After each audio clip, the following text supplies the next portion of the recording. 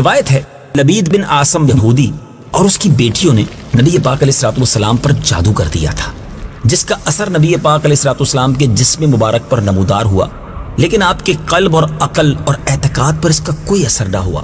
چند روز کے بعد جبریل امین علیہ السلاۃ والسلام حاضر خدمت ہوئے اور انہوں نے عرض کی، یا رسول اللہ صلی اللہ تعالی علیہ وسلم، ایک یہودی نے آپ علیہ السلاۃ والسلام پر جادو کر دیا ہے اور جادو کا کچھ سامان ہے وہ فلاں کنویں میں ایک پتھر کے نیچے دبا دیا گیا ہے۔ نبی پاک علیہ السلاۃ والسلام نے حضرت علی رضی اللہ تعالی عنہ کو بھیجا۔ انہوں نے کنویں کا پانی نکال کر جب پتھر اٹھایا تو اس کے نیچے سے کھجور کے گھابے کی تھیلی برآمد ہوئی۔ اس پہ پیارے آقا علیہ السلاۃ والسلام کے منہ مبارک جو کنگی سے ٹوٹے تھے اور کنگی شریف کے ٹوٹے ہوئے کچھ دندانے اور ایک ڈور یا کمان کا چلا جس میں گیارہ گرہ لگی ہوئی تھی اور ایک موم کا پتلا جس میں گیارہ سوئیاں چبئی ہوئی تھی یہ سب سامان پتھر کے نیچے سے نکلا اور یہ سب نبی پاک علیہ السلاۃ والسلام کی خدمت میں لایا گیا۔ اس کے بعد قرآن مجید کی دونوں صورتیں کل اعوذ برب الفلق اور کل اعوذ برب الناس یہ نازل ہوئی۔ ان دونوں صورتوں میں گیارہ آیتیں ہیں اور ہر ایک آیت کے پڑھنے سے ایک ایک گرا جو تھی وہ کھلتی جاتی۔ یہاں تک کہ سب گرے کھل گئیں اور نبی پاک علیہ السلاۃ والسلام بالکل شفایاب ہو گئے۔ پھر یہ جادو کا جو سامان تھا سارا، وہ زیر زمین دفن کر دیا گیا۔ اس واقعے سے سیکھنے کو کیا ملا؟ کہ تعویزات اور عملیات، جس میں کوئی لفظ کفر و شرک کا نہ ہو، جائز ہیں۔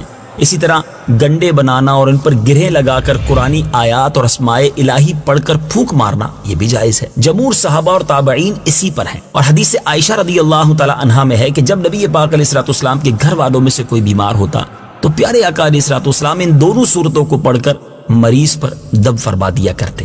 اے میرے میٹھے اسلامی بھائیوں، بخاری اور مسلم کی حدیث کہ نبی پاک علیہ السلاۃ اسلام رات کو جب بستر مبارک پر تشریف لاتے تو اپنے دونوں ہاتھوں پر دم فرمایا کرتے اور اپنے سر سے پاؤں تک پورے جسم مبارک پر اپنے دونوں ہاتھوں کو پھرایا کرتے، جہاں تک دستے مبارک پہنچ سکتے، یہ عمل میرے آقا تین بار فرماتے۔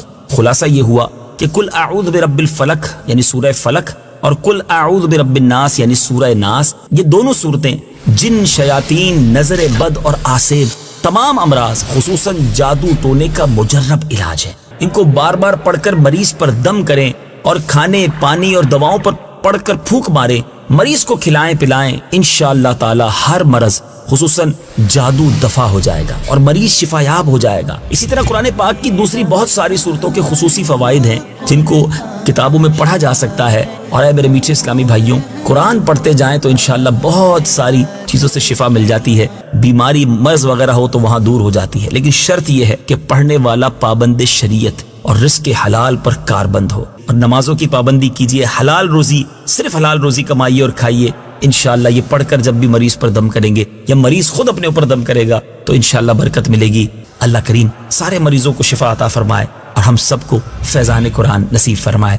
دین کی بات پھیلانا صدقہ جاریہ ہے۔ ثواب کی نیت سے ویڈیو کو شیئر ضرور کیجیے جزاک اللہ۔